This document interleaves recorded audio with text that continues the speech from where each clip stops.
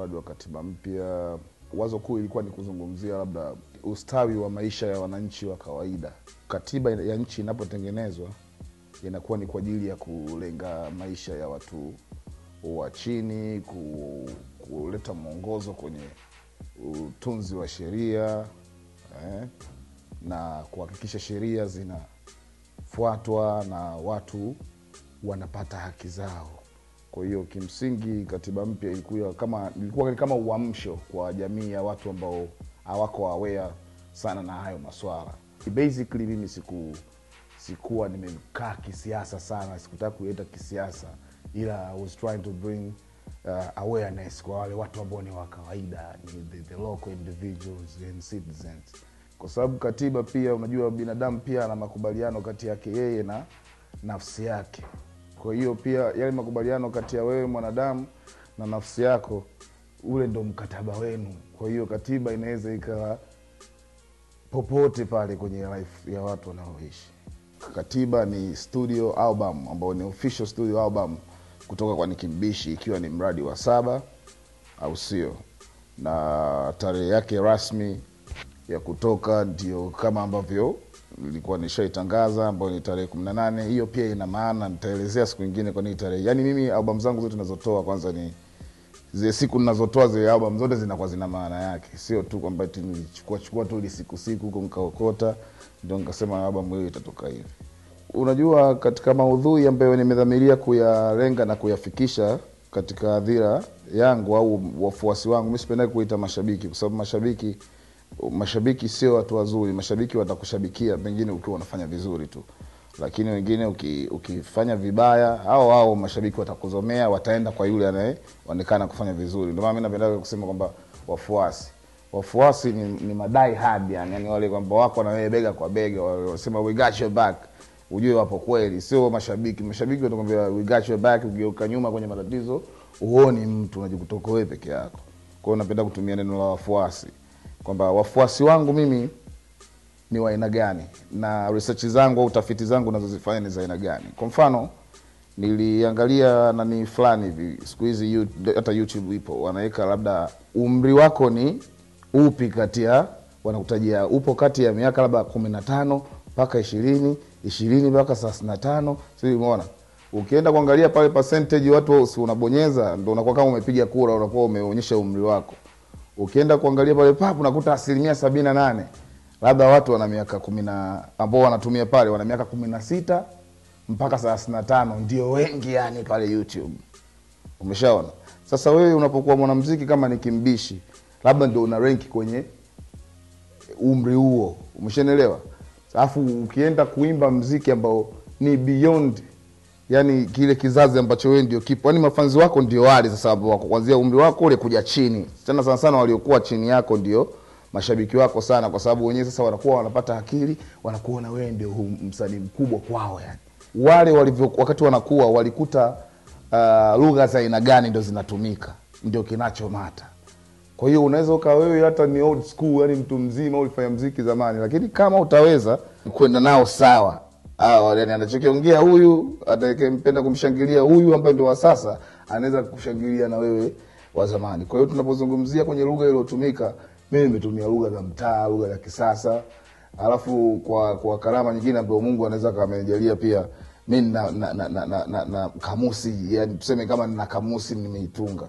Kwa hiyo lugha unazosikia kama ni za kigaigai zile, sijui watu waimba singeli pia tunazijua, tunaenda nao na wakati na nini kila kitu, lakini basically tunatumia Kiswahili na Kiingereza kwa sababu ndio lugha zetu hizo tukuza, na kwa walio uh, barikiwa kupata lugha nyingine ya tatu, hata zile za kimakabila zile za asili pia ina make sense, lakini sisi tunatumia Kiingereza kidogo, Kiingereza kidogo na Kiswahili sana, na hususan cha watu ambao kiupeo ndo nilisema wale watu ambao watusemi wasomi sana mpaka tutumie lugha za kitaalamu sana, tunajaribu kufanya lugha fulani ya kawaida, kila mtu anaweza akaelewa. Hapo kwenye njia za ku, uh, ku, ku, kusambaza, kuuza au kutangaza, ku, ku, ku, kusema advertisement na promotion kwa ajili ya kufanya kazi zetu zifi, ziwafikie watu kidogo kuna changamoto ambayo inahitaji awareness kubwa eh, utulivu wa akili au sio, na kujipanga. Zamani ilikuwa ukitoa kanda labda au CD ili mtu aipate, labda yuko nje ya nchi, ilikuwa ni lazima labda kuwe kuna mtu amekuja huku likizo, akiondoka na ile mizigo ya huku ndo mpakie na ile CD aende nayo, lakini kulikuwa uwezi kuta eti Tupac au bigi katoa album Marekani, alafu wewe ukute huku Kariakoo wanauza original CD ya Big au Pac, ilikuwa iwezekani. Lakini sasa hivi unaweza ukapata album ya msanii yoyote yule ambaye e, e, unaitaka una au unamtaka kwa wakati wowote na popote pale ulipo. Kwa hiyo sasa hivi changamoto tuliokuwepo, tumeona hizi digital platforms zikiuza kazi za sanaa au kazi za wasanii.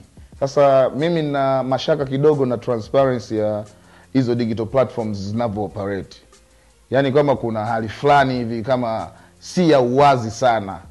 Mimi kwa mfumo wangu ninaotumia, kwa mfano sasa hivi sisi tunauza album kwa kutumia email au sio, address hapa kwa WhatsApp. Biashara imekuwa huko sasa hivi, Telegram, hizi social media. Kwa hiyo mtu hata akiwa nchi gani akishalipa akishafanya muamala, kwa sababu uwezo wa kufanya international transaction, miamala ya kimataifa pia upo. Kila kitu kinawezekana kulingana na advancement ya, ya, ya technology. Umeshaona? Kwa hiyo unakuta mtu kama mimi nikipiga hesabu ya kawaida, si, si, si, nisingependa kumention hizo digital platforms ambazo zipo, lakini nishawahi kufanya research ndogo. Wasanii wengi sana wanaenda wanakwenda labda kwenye hizo ofisi kwenda kuangalia royoti zao au sio? Yani uh, uh, viasi vyao mirabaha yao walioipata baada ya kuwa wamezeka kazi zao na zimeuzwa pale. Unakuta kwamba sasa kama nikimbishi anatoa albamu ya katiba mpya anaiuza nakala moja kwa shilingi elfu ishiri na tano kwa hesabu ya haraka haraka that means kwamba nikiuza nakala arobaini ni milioni moja. Umeshanielewa? Lakini sasa wewe chukua miziki yako yote hiyo yani kimbishi hiyo zote albamu zake zote ziweke kwenye hiyo huo mtandao wao ambao ndo wa streaming. Sawa watu watasikiliza mangoma yako wataenjoy wataenjoy wataenjoy aya siku kafuatilia hela yako. Utajikuta ndani ya mwaka mzima au miezi sita saba nane wewe hujafikisha milioni moja. Wakati mimi milioni moja kama album unaitoa unaipromote unafanyaje nina uwezo wa kuwauzia. Yani kama watu arobaini tu ni milioni. Je nikiwauzia watu elfu moja? Elfu moja tu umeshaniona? Kwa hiyo mtu kama Nash MC napendaga sana kumtolea mfano. Nash amefanikiwa pia kwa ajili ya njia kama hizo. Kwa sababu gani? Hauwezi kusikia lalamika ah bwana kule sijui mdundo sijui wapi wameniibia wameniibia. Kwa sababu kiukweli kazi inapokuwa mpya na imeshafanyiwa matangazo imeshatoka that means kwamba hiyo inakuwa ya moto. Kila mtu yani mzigo anaugombania hata zile jezi unavyoziona za simba na yanga siku zinavyozinduliwaga bei yake ni tofauti na msimu ukikaribia kuisha. Sasa hivi kuna jezi mpaka elfu kumi kitu ambacho labda pengine kutokana na ufinyu wa muda wa haya maongezi yetu awareness ku create more awareness kwa ku, ku, hali ya watu kuwa kuwa informed yani watu kuwa na taarifa yani watu wawe detailed yani watu wawe ta, utayari wa watu tuseme.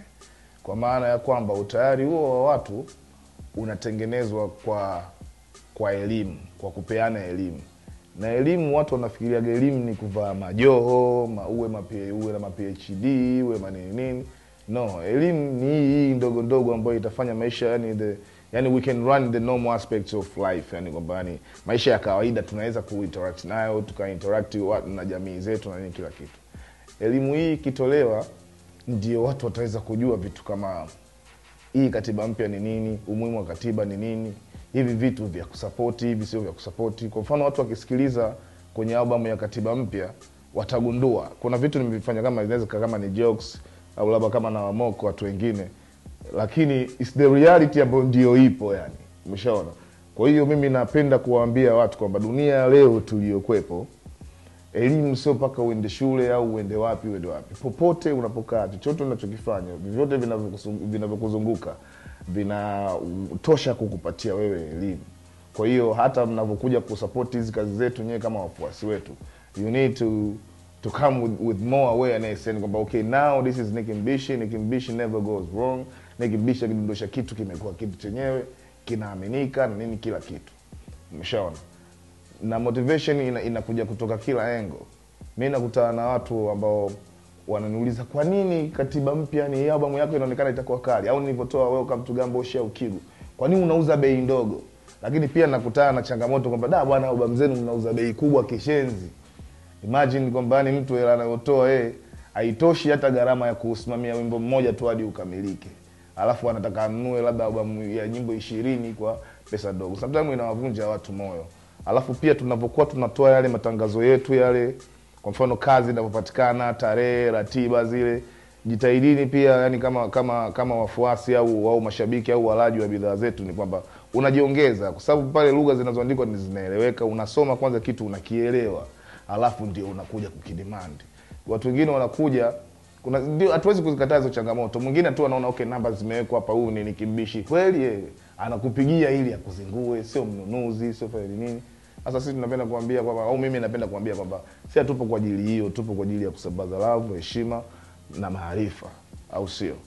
Waendelee kusupport vitu ambavyo ni positive kwao na vina manufaa kwa ajili yao na future ya vizazi vyao.